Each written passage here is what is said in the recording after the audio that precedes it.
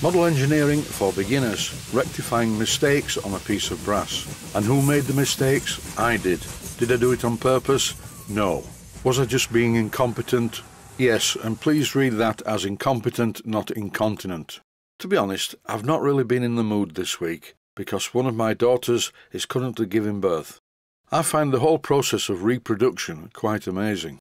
I don't mean the first bit, I mean the bits that follow on, like when the alien burst out of John Hurt, shrieked and ran across the room. Anyway, on with the video. One of the projects that I'm working on is called Making a Stuart Model Steam Plant. And here is the hand pump mounted on a brass block, very badly. Why did I do it this way? Well, I don't know, it just seemed like a good idea at the time. This part of the job is okay. All of the studs are securely Loctited into the holes in the baseboard, Things went wrong when I marked out the brass block and drilled the holes slightly in the wrong place. These studs are 4BA and the clearance size for 4BA is 9 64ths of an inch. But unfortunately I didn't mark out the positions correctly and if you look closely at the piece of brass you will see that the holes are not in the right place and to make this piece of brass fit over the studs I had to drill out the holes to, believe it or not, 3 16ths of an inch. There are two things wrong here one is the piece of brass is far too big. I thought it would look okay, but it doesn't. And the other thing that's wrong is just the atrocious workmanship. I really can't live with this. Every time I look at this image, it makes me cringe. There are different ways to fix holes in the wrong place in pieces of metal. Had this mounting base have been made using a piece of steel, the fix would have been simple. I could have used my MIG welder to block up the holes, but the part I'm working on is made from brass, Another option would be to drill and thread these and plug them. 3 16ths, which is the size of the holes in the brass, is tapping size for 2BA, but I'm not going to plug up the holes in this way either. Necessity is the mother of invention, and often I find alternative ways of doing jobs like the one I'm about to show you. I took the piece of brass into the outer part of the workshop and sat it on the brazing hearth. Then I removed the blowtorch head that I use most frequently and fitted a larger one you can see how much bigger the one I've just fitted is. The small burner head's great for general purpose jobs like piping, but for this job I need a lot more heat. In this clip you really can see how far out of alignment the holes are. The job begins by a generous application of flux. This is Easy-flo number 2 flux and the silver solder that I'm going to use is called Silver-flo 55. Now it's time to turn on the heat. When I make tutorials about silver soldering, I always apply the silver solder too early on in the job. In this clip the camera makes it look like the silver solder rod is in the flame. It isn't, it's just quite nearby. It takes a while to get this component to the required heat to melt the solder. I'm going to apply some silver solder to one of the holes to show you what happens. The heat from the blowtorch melts the silver solder stick at the end, but the silver solder does not flow into the hole it just sits on top like a ball. Normally I would wait until the flux took on a watery appearance before applying the silver solder, but for the purpose of this tutorial I am applying the silver solder too early as I've just mentioned.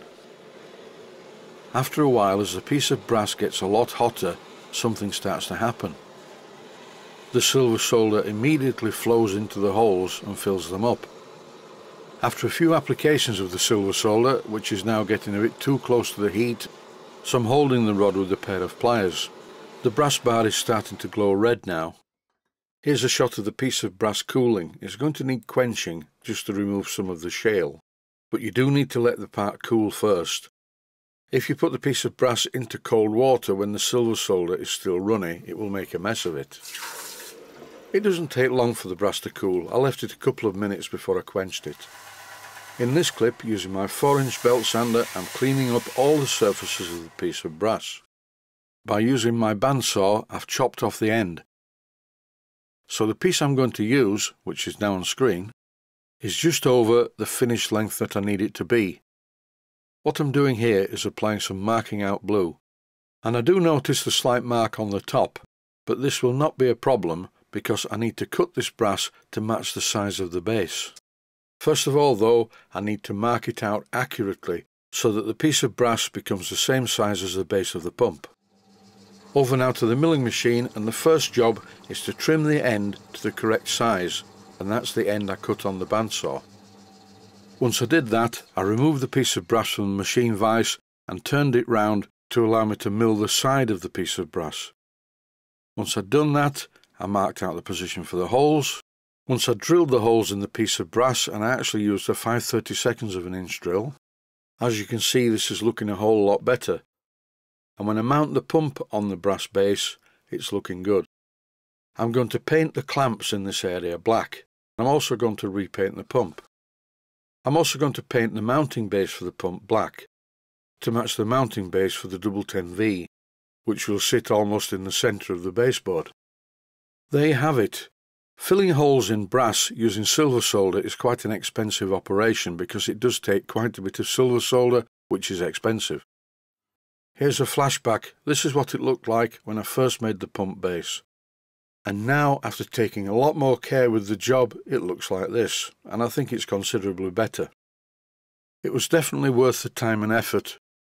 And that is it for this episode. Stay safe, stay healthy. Thanks for watching, and I hope you found it useful. Please take the time to visit my Mainsteam Models website and click on the section of the website that says Video Playlists. And by doing that, you can find other videos that you may like to watch and by using the playlists you can actually watch the videos back to back.